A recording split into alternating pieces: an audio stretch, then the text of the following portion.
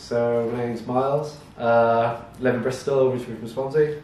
Um, really into music and recently DJing. Um, it's been a start of a lockdown sort of journey. Um, each person's set is individual, unique to them. No, no set is the same, so it's uh, it's quite a quite a way of putting your own mark on, on music. Early passions probably people like Sasha and John Digweed, um, Oliver Koletzki. Lucky enough to see these people around the UK and abroad.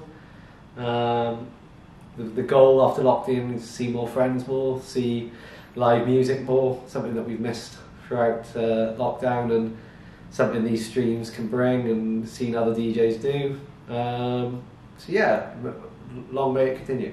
So what's my biggest achievement? Um, I think just uh, having the friendship group I've got and the life I live. Um, can't really key any moment apart from that. Happy, happy to get where I am.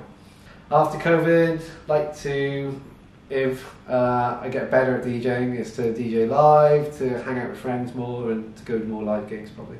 We've got friends and I have got tickets to go to the Fusion Festival in Germany. We'd like that to happen. We'd like to go. We've been there once and like to happen again yeah, I really enjoyed doing this DJ set, first one, uh, first DJ set streamed live. Um, takes a bit of getting used to. Good backdrop, good company, so yeah, enjoyed. I think AKTIV, three words that spring to mind is probably uh, energy, creativity, soulfulness.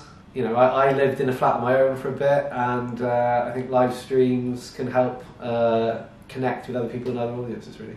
Uh, DJ Spills or Miles, um, stream's on on 8pm on Wednesday the 14th. Tune in.